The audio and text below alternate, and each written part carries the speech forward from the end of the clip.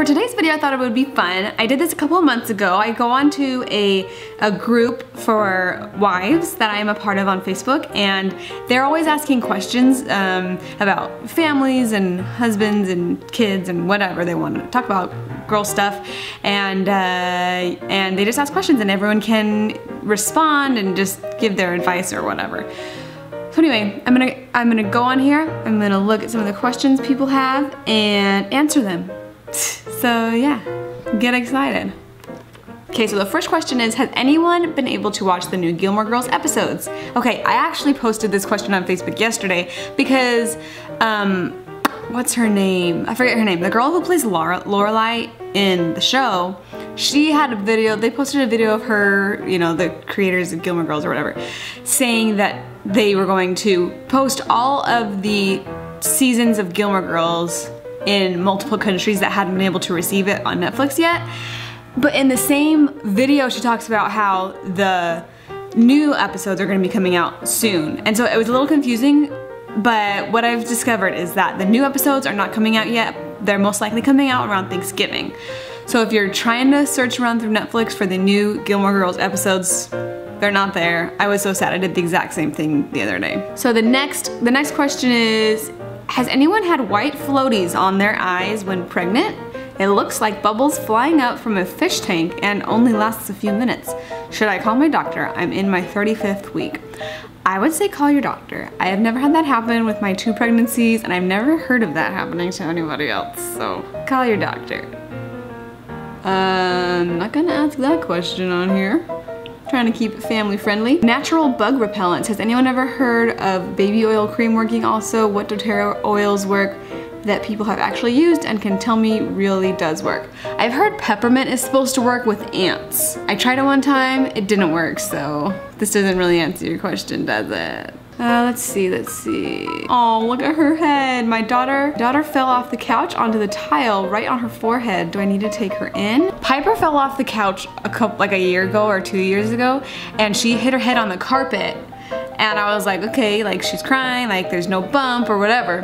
But then like 45 minutes later, she started throwing up. And obviously like that is a major symptom of a concussion. So I had to take her in and she was fine, but it seemed, it turned out like she did have a minor concussion. So I don't know, if your kid bumps their head, this bump on her head looks legit. But I think if they don't start throwing up or if they don't have like crazy dilated eyes, then I think it should be good.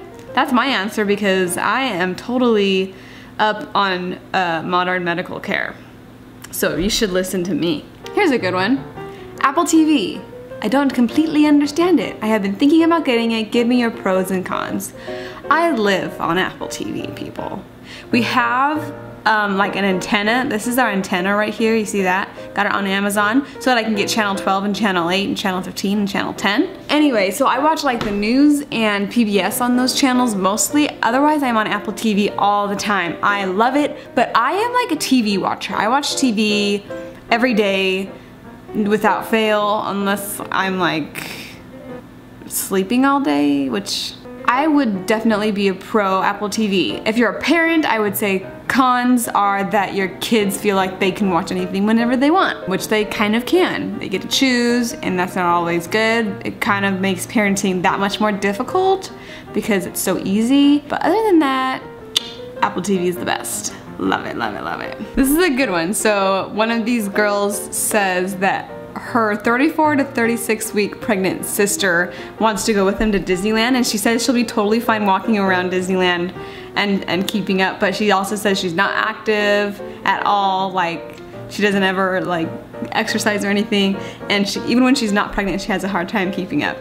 Being 34 to 36 weeks pregnant is like really interesting. Sometimes it's like you have a lot of energy and are fine but for me, I like couldn't breathe because the baby is so big and pushing up against your lungs. And so um, I would say that she's not going to be fine. That would be my short answer. Don't believe her.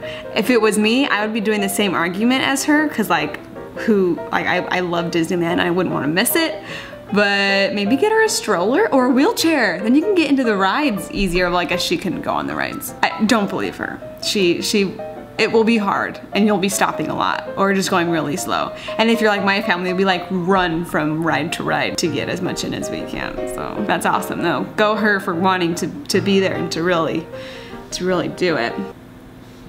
Can I just pause for a second? I know the minute I say this, it will change. But my kids are still asleep and it's almost five o'clock. I even got a nap and I got to watch two episodes of Park and Rec. Parks and Rec. But now I said it, so they're probably gonna wake up any second.